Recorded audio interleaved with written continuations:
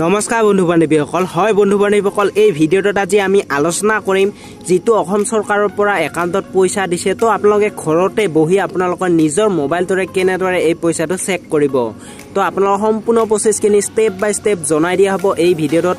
অনুগ্ৰহ কৰি আপোনালোকে এই ভিডিঅ'টো শেষলৈকে চাই থাকিব। তেতিয়াহে আপোনালোকে ষ্টেপবোৰ চাই আপোনালোকৰ নিজৰ একাউণ্টখনো চেক কৰি যাব পাৰিব। তো নমস্কাৰ বন্ধুসকল মোৰ নাম কুলজিত আৰু আপোনালোকৰ সকলোকে এই চেনেলটিলৈ স্বাগতম জনাইছোঁ। তো আপোনালোকে এটা যিকোনো ব্ৰাউজাৰত যাব লাগিব। মই গৈছোঁ ক্ৰম ব্ৰাউজাৰত যদি আপোনালোকৰ লগত ক্ৰম ব্ৰাউজাৰ নাই তেতিয়াহ'লে আপোনালোকে প্লে' ষ্ট'ৰত গৈও ডাউনলোড কৰি ল'ব পাৰে। তো মই গৈছোঁ ক্ৰম ব্ৰাউজাৰত ক্ৰম ব্ৰাউজাৰত যোৱাৰ পিছত এনেকৈ এখন পেজ খোল খাব আৰু ইয়াত আপোনালোকে চাৰ্চ বাৰত লিখিব লাগিব। মই লিখি দি আছোঁ আপোনালোকৰ আগত। P F M S P F M বুলি লিখাৰ পিছত আপোনালোকে চাৰ্চ কৰি দিব। চাৰ্চ কৰি দিয়াৰ পিছত আপোনালোকৰ আগত এনেকুৱা এখন এণ্টাৰপ্ৰেছ খোল খাব আৰু ইয়াত আপোনালোকে তলত যাব তলত গৈ যিটো আপোনালোকে দেখিছে পি এফ এম এছ নাও ইয়াৰ পে'মেণ্ট ইয়াত আপোনালোকে টিপি দিব। টিপি দিয়াৰ পিছত বন্ধু বান্ধৱীসকল আকৌ আপোনালোকৰ আগত এনেকুৱা এখন এণ্টাৰপ্ৰাইজ খোল খাব আৰু ইয়াতে লিখা থাকিব বেংক এণ্টাৰ ইয়াৰ account number enter confirm account number অৰ্থাৎ আপোনালোকে ইয়াত বেংকৰ নামটো লিখিব লাগিব। যদি আপোনালোকৰ ষ্টেট বেংক অফ ইণ্ডিয়া নামত বেংক একাউণ্টটো আছে তেতিয়াহ'লে ইয়াতে বেংকৰ নামটো লিখি দিব। তাৰপিছত লিখিব লাগিব ইয়াত আপোনালোকে একাউণ্ট নম্বৰটো আৰু আপোনালোকে তলত লিখিব লাগিব আকৌ এবাৰ একাউণ্ট নম্বৰটো তাৰপিছত যিটো আপোনালোকে দেখিছে ইয়াত কেপচা কোড এইটো আপোনালোকে ইয়াত বহাই আপোনালোকে ইয়াত চাৰ্চ কৰি দিব লাগিব।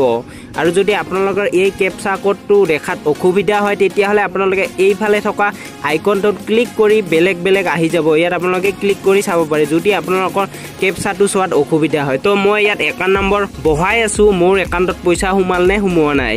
তো মোৰ যিহেতু ষ্টেট বেংক অফ ইণ্ডিয়া নামত আছে বেংক একাউণ্টতো মই ষ্টেট বেংক অফ ইণ্ডিয়া লিখি দিছোঁ। তাৰপিছত ইয়াত লিখিব লাগিব এঘাৰটা সংখ্যাৰ একাউণ্ট নম্বৰটো। তো মই ইয়াত একাউণ্ট নম্বৰটোও বহাই আছোঁ। আকৌ লিখিব লাগিব ইয়াত এণ্টাৰ ইয়াৰ কনফাৰ্ম একাউণ্ট নাম্বাৰ তাৰপিছত হৈ গ'ল একাউণ্ট নম্বৰ আৰু বেংক একাউণ্টৰ নাম। তাৰপিছত আপোনালোকে ইয়াত লিখিব লাগিব এই কেপচা কোডটো ইয়াত লিখি আপোনালোকে চাৰ্চ কৰি দিব লাগিব। মই বহাই আছোঁ। তো গোটেইখিনি মোৰ কমপ্লিট হৈ গ'ল। এতিয়া মই ইয়াত চাৰ্চ কৰি দিয়াৰ পিছত মোৰ একাউণ্টত কিমান টকা সোমাইছে ইয়াত দেখা দিব। তো মই ইয়াত চাৰ্চ কৰি দিছোঁ। তো বন্ধু বান্ধৱীসকল চাৰ্চ কৰি দিয়াৰ আগতে যদি আপোনালোকে এতিয়াও এই ভিডিঅ'টো লাইক কৰা নাই তেতিয়াহ'লে এই ভিডিঅ'টো এটা লাইক কৰি নিশ্চয় দিব। তো এতিয়া মই চাৰ্চ কৰি দি আছোঁ। চাৰ্চ কৰি দিয়াৰ পিছত বন্ধু বান্ধৱীসকল এনেকুৱাকৈ দেখাব ন' ৰেকৰ্ড ফাউণ্ড অৰ্থাৎ মোৰ একাউণ্টত এতিয়ালৈকে পইচা সোমোৱা নাই। যদি আপোনালোকৰ একাউণ্টত পইচা সোমাইছে আপোনালোকৰ তলত যাই চাব ইয়াতে আপোনালোকৰ পইচাটো শ্ব' হ'ব। এতিয়া নোসোমালেও দুদিনমান পিছত সোমাবতো আপোনালোকে দুদিনমান পিছত আপোনালোকে এনেকৈ চেক কৰি চাব।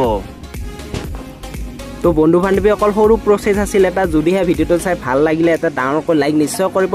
আৰু যদি আপোনালোকে এই চেনেলত এই ভিডিঅ'টো প্ৰথমবাৰ চাইছে তেতিয়াহ'লে চেনেলটিক ছাবস্ক্ৰাইব কৰি সোঁফালে ওলাই অহা বেল আইকনটো টিপি থ'ব একেবাৰে নাপাহৰিব। তো ধন্যবাদ বন্ধু বান্ধৱীসকল আপোনালোকক পুনৰ লগ পোৱা আশাৰে অন্য এটি ভিডিঅ'ত আজিলৈ পাই জয় আই অসম।